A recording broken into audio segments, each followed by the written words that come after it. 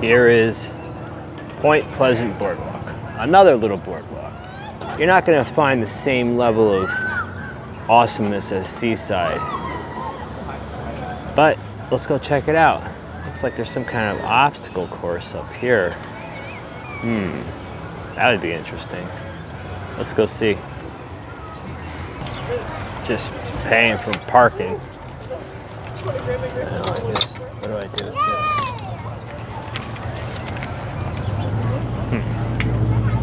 I don't know, I'm supposed to put this on my car, I guess.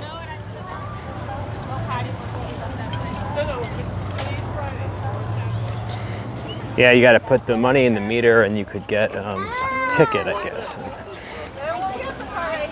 Put it in the car. All right, let's put this in the car so that we don't get a ticket for parking here. You got to pay for everything in New Jersey. Pay to get on the beach, pay to park, pay to drive on the road, tolls everywhere. This this state is a money extraction machine. I mean, it's wild. Like uh, the main road where you drive, it's called the Garden State Parkway. And um, one of the things, if you know people are from New Jersey, because they don't say, um, where do you live? They say, what exit are you from? Because the exits go, I think, from 1 to 170. And so everybody identifies by uh, how those numbers. So I say, oh yeah, 135 or exit 98. But um, but when you're driving on that road, you have to stop and pay um, money every, I think, 30 miles or so.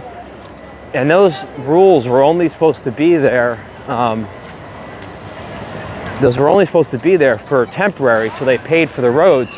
And of course, like anything, once you give people power and you give them money, that was, they're still there permanently.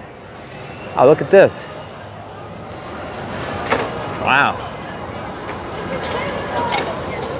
Looks like some kind of torture device. But very fun. I mean, there's all kids on here, but that looks like fun for adults too. Adventure, adventure lookout. Interesting. Right, let's see what we got going on on the boardwalk. So this is Point Pleasant, New Jersey. Um, this is the uh, final boardwalk that we're going to look at and review.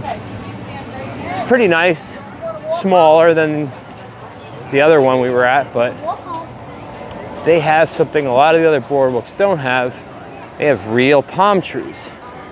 Now, wherever you're living, you might think palm trees are not a big deal, but that's very rare here because it gets cold in the winter. So these palm trees are genetically modified um, so that they could survive the winter. And I was reading about it, they could cost upwards of $20,000 for one tree because I don't know how they did it, but they modified the tree's DNA. I don't know what this thing is. So it lives in the winter. And I could, I'm just going by what some guy told me. I don't even know how true that is. Oh, this is a good uh, thumbnail right here.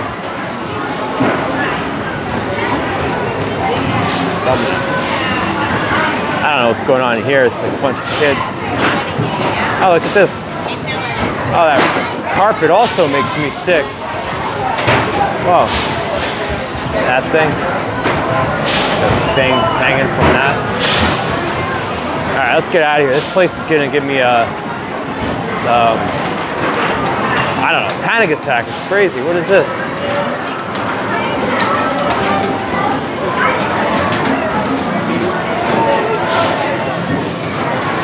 A seizure. That's the word I was looking for. It's gonna give me a seizure from all the crazy lights. Look at this. Some kind of balloon game.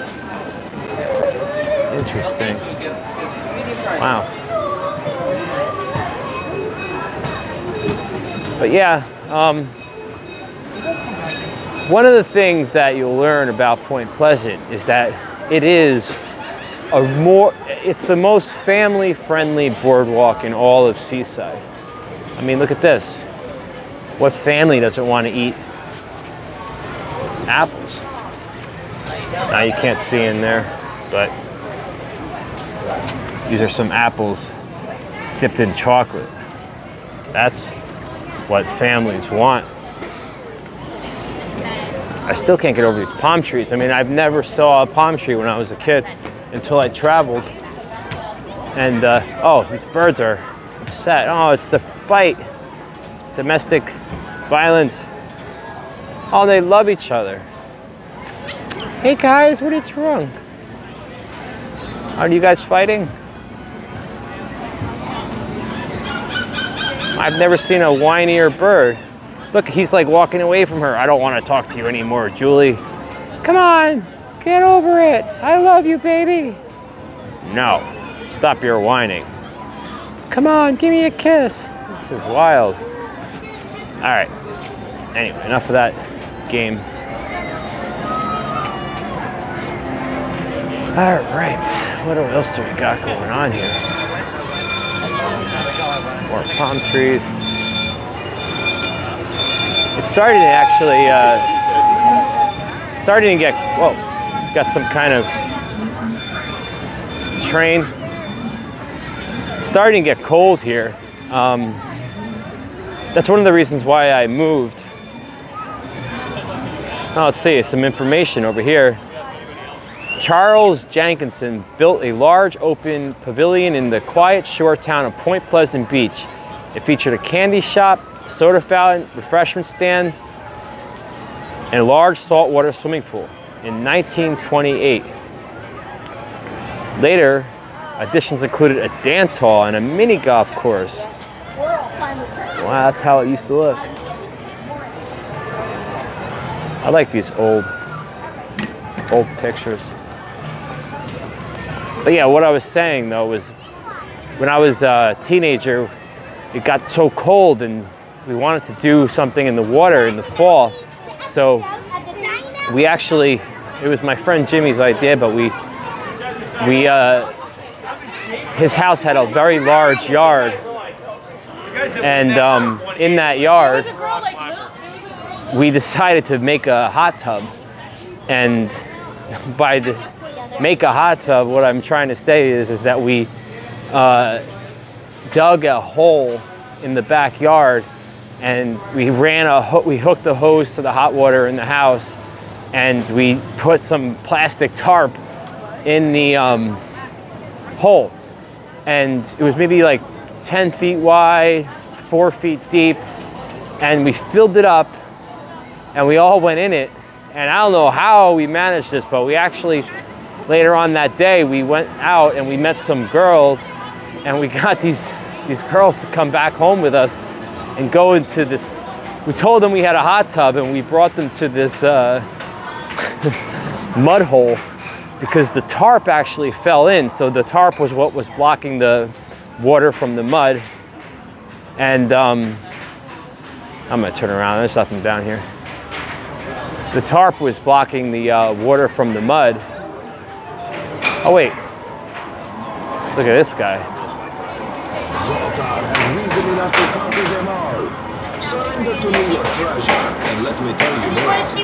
Okay. And surrender more cash for more wisdom from the great Zoltar. Zoltar. Wow. The great Zoltar with a word of wisdom for your fortunes. Remember, But yeah, so we we told the girls that we had a hot tub, and we said, "Yeah, come hang out, check out this hot tub." And they got to his backyard, and they're like, "What is this?" And we were like, "It's a hot tub." And they were like, "It looks like a muddy hole." Well, the one girl was more adventurous, and she touched the water, and she was like, "Jenny," or whatever the girl's name was. I don't remember. She was like, um,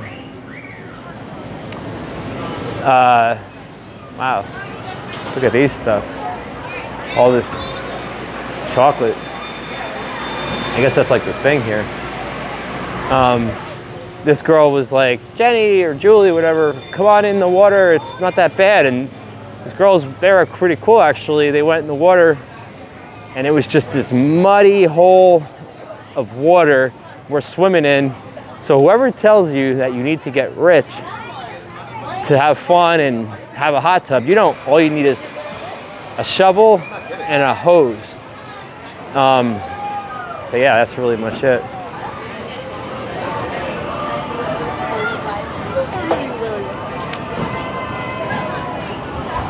There's some more beach.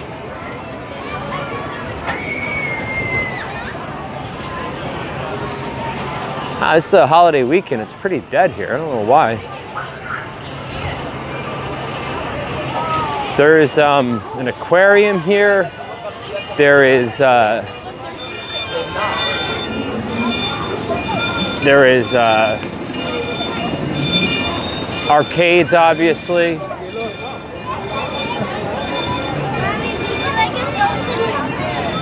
There is um, a fun house, like a mirror maze where you go in and it's all mirrors. Hmm. Well, that guy was just saying hermit crab. There's like these little crabs they sell. They- They'll crawl out of their shell and they'll go into any shell that you want. And um, so they sell them here. They sell these little crab creatures. I kind of feel bad for them because I mean, like these little creatures, like why are you selling them on the boardwalk? Like that's kind of messed up. Like I don't really think that people are gonna take care of a crab very well. They bought on a. This is pretty much like a fair. But anyway.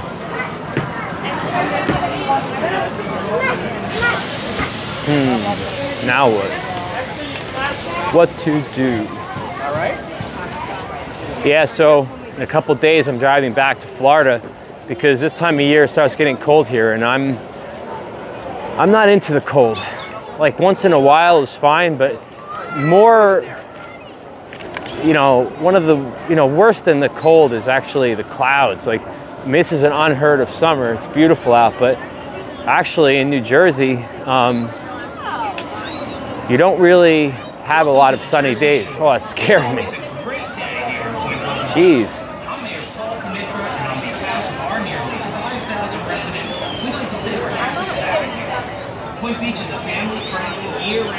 See, family friendly. Now this place over here, that's called, uh, what's that called? Tiki Bar. It's a little beach bar. Maybe we can go in there. Let's check that out.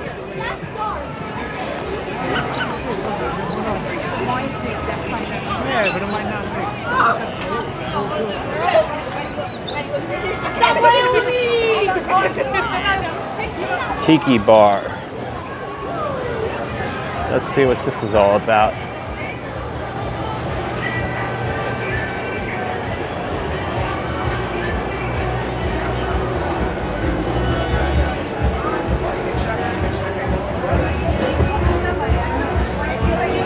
got so old that was I don't know, maybe this guy's asking for ID.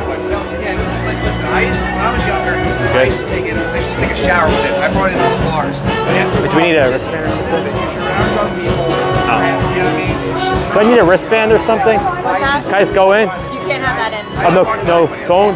No, you can't have it like all hooked up to that, like Oh. phone on you, but we don't Okay. like video recording devices. Oh, no worries. It looks more like one with it hooked up like that. Okay, yeah, no worries. You know I got it. mean? Okay. But yeah, All right, so much for that. Too loud in there anyway. That's a little disappointing, to be honest with you. Well, we could check out something else. And I finally talked to somebody on a video without turning the camera down. I don't think, I think I got it in the shot. Hmm. That's very disappointing. That would have been a good video. Let me try to put this down. This is kind of the inside of this place. Wow, that's really too bad I couldn't bring this in there. That would have been a really good place to make a video. Hmm. I don't know. Kind of disappointed, guys.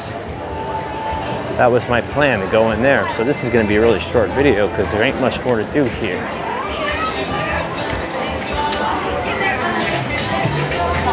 Oh, here we go with the music again. Oh, that's cool. Look at this arcade game.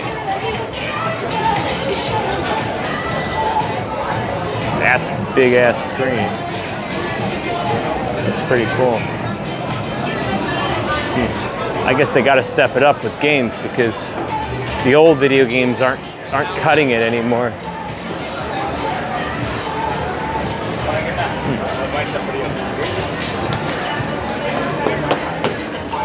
Let's see if we can go in here with the camera. Oceanside.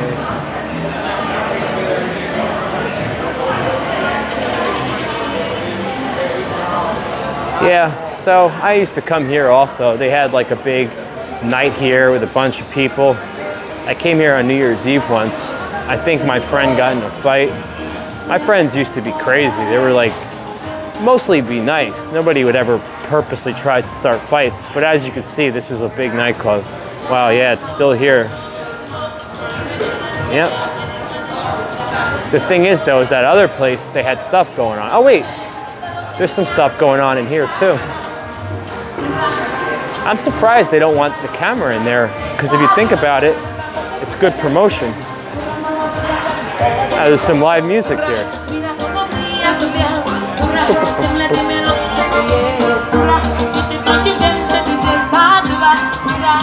That's cool. I think this is all new.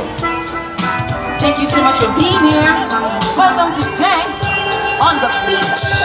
That's what's up. Right there with DNA. DNA. Oh yes. Here we go. We are lovers and you and know we made it through the storm. I really want you to Nice. realize. I really want to tell you I wonder if this video will sound. my inspiration. Real love that I need, yeah. Real love. Doesn't even seem like New Jersey. searching for a real love. Someone set my heart free. Yeah. I'm searching for a real love. Yeah, well, you got the idea. When I met See the water. Take my heart run. Until you told me how you good stuff over here too. Yep.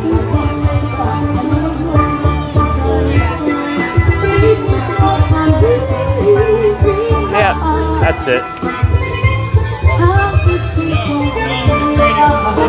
Oh, I like those drums. Steel drums.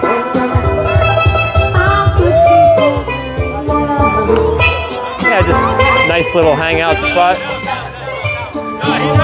Not bad. Nice people. And they let us come in with the camera.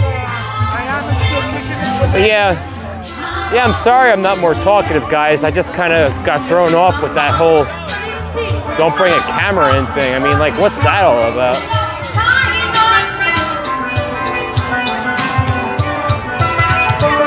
Like, I feel like any business should want as much videos as possible, unless they're hiding something. Oh, look at this. They got all these tropical plants. Now, these 100% die. But then again, they have the pots in the ground.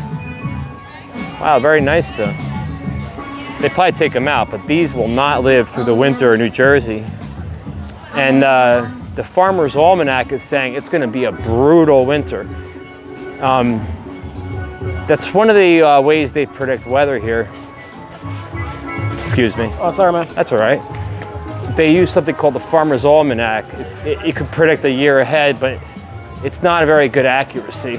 Um, what you could do with that is um, they look at things like the habits of uh, bugs and I think raccoons and squirrels, and you observe their behavior. I think it has something to do with if you see, like, for example, squirrels doing certain things with nuts and things like that. They could calculate that as being if it's going to be a lot of winter, a lot of snow, or maybe it's going to be a very mild winter. And they're saying that, you know, all the indicators are saying it's going to be freezing here. Another reason why I'm just going to bounce and get back to Florida.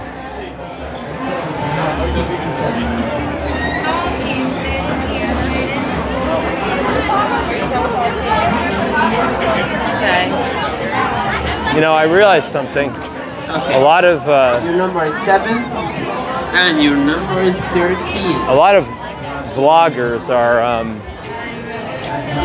they're always talking about not being able to film and getting very frustrated. I mean, I've heard there's entire countries in Africa where you can't film. Um,